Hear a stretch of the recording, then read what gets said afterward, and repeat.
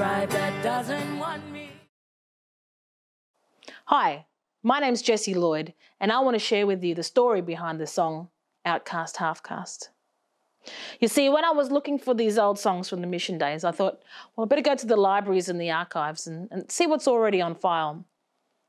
So I went to Canberra and I was at the National Library of Australia, and I was lucky enough to receive a fellowship at the National Library.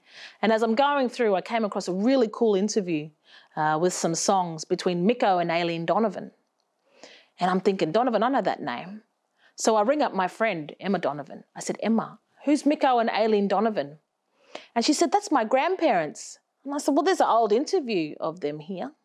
So I sent her a copy and she sent it out to the family. And it was pretty special, I think, because uh, them two old people had passed away a long time ago. So it was really special for the family to hear their voices again. And there was a song that they sang on that interview that really caught my attention. It's a song called Outcast Half Caste. Now, half caste isn't the term that we use anymore, but back in the day, that was common terminology. And Emma says that she remembered her grandparents singing it when she was young, and, and it always made her feel, feel shame to hear them singing about being a half caste because we don't use that word anymore. But I think now, in the context of the Mission Songs project, she says that the song fits because it's reflective on the social values and, and the understandings of, the, of that era. And the Donovan family are a very well known Aboriginal musical family, especially in country and western. Micko and Eileen, the grandparents, uh, they came from two different missions in northern New South Wales, and the family had the Donovan family band, um, and they hung around Tamworth for, for generations, and country music was a big thing for them. And I guess their family with the grandparents is a good example how a lot of um, Aboriginal people were, were introduced to um, Western music. It was it was the missionaries that introduced them to old people to to how to play um, the guitar or the organ. Pop actually wrote the the tune with Annie Mary Deroux.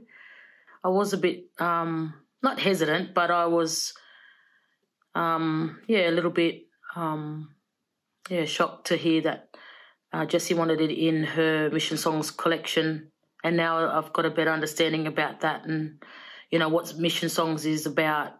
Um, you know these songs from the older times um, when old fellas had their own experiences about disconnection and um, reinforcement you know being moved.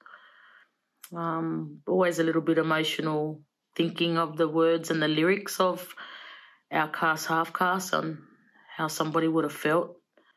I think through the journey of singing it with mission songs again and, and you know bringing it out to the world um, in these times is been um, yeah it's been it hits home for a lot of people, including myself, I guess, because like I said, I, when I was younger, I was really ashamed. I, I, I used to ask mum. I used to say, "Mum, why does Nan sing that song?" I knew it was different uh, from the rest of the songs that I'd grew up growing up singing or hearing my grandparents sing. So yeah, it's just should take this time to say thanks to Jess. I always do. I know she'll say, "Why do you think thank us?" But I yeah, I want to thank her because it's important to acknowledge her for what she's doing with songs like this. Um, yeah, they're they're being heard again. They're being sung again, and that message, I guess, from these songs are being you know being shared.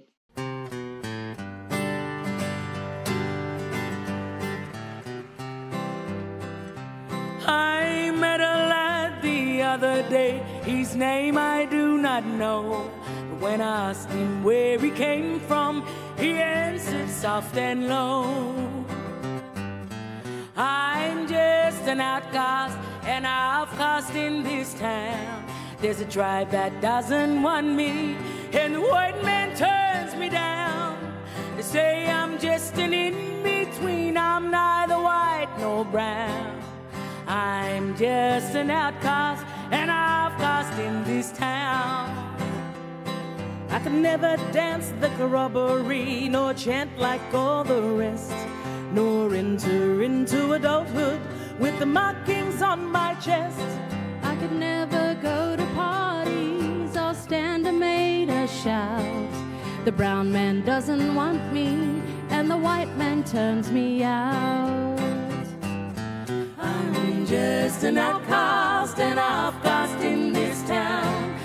tribe that doesn't want me, and the white man turns me down. Say I'm just an in between, I'm neither white nor brown.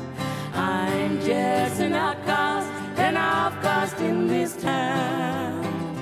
Well, my eye then filled with bitter tears as I heard his tale of woe. My mind then wandered through the years to the ago. Before this town accepted me, I was so sad and blue. I was just an outcast and a half caste too. I'm just an outcast and a half caste in this town. There's a tribe that doesn't want me, and a white man turns me down. Say I'm just an in between, I'm neither white nor brown. I'm just an outcast and a half in this town. They say I'm just an in between, I'm neither white nor brown. I'm just an outcast and a half in this town.